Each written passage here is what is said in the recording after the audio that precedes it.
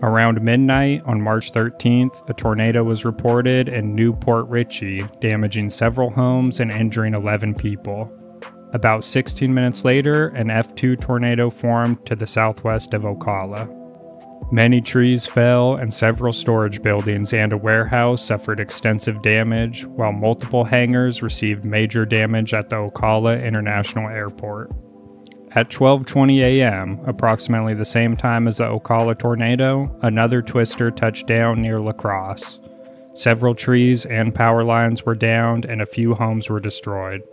One person was killed and four others received injuries. About 10 minutes later, another F2 twister spawned near Howey in the Hills.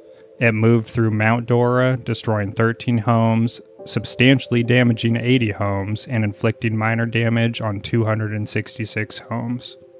Sadly, a five month old baby was killed while two others were injured.